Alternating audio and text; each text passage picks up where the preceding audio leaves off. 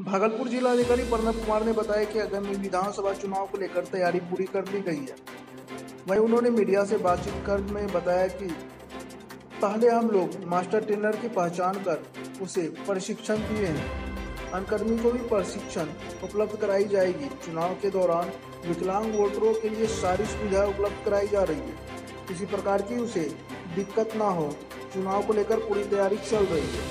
किसी प्रकार की भी कोई भी वोटर को दिक्कत ना हो एवं जिलाधिकारी ने इस क्रम में कई अहम जानकारी भी दी।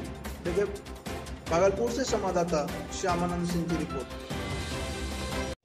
चुनाव को लेकर के जिला प्रशासन ने पूरी तैयारी आरंभ कर दी है और इस परिप्रेक्ष्य में हम लोगों ने पूरे ज़िले में जितने भी कर्मी कार्यरत हैं चाहे वो केंद्र सरकार के प्रतिनिधि कर्मी हों या राज्य सरकार के सभी का डेटाबेस तैयार कर लिया गया है और अब उनको प्रशिक्षण देने की तैयारी की जा रही है।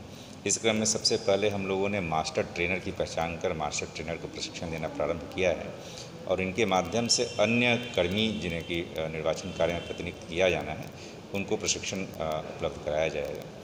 सभी कोषांगों का जितने भी कोषांग, को कार्य करना है, वाहन कोषांग, कार्मिक कोषांग, प्रशिक्षण कोषांग, सभी का गठन कर दिया गया है और उनके माध्यम से कार्रवाई सुनिश्चित की जा रही है।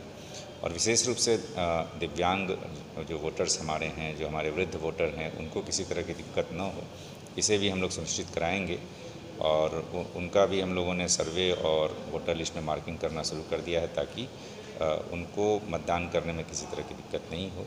इसके अतिरिक्त स्वीप अभियान पर भी हम लोग काम कर रहे हैं ताकि वोटिंग का परसेंटेज भी बढ़े। तो ये सारी तैयारियाँ चल रही हैं ताकि बेहतर तरीके से निर्वाचन संपन्न कराया जा सके।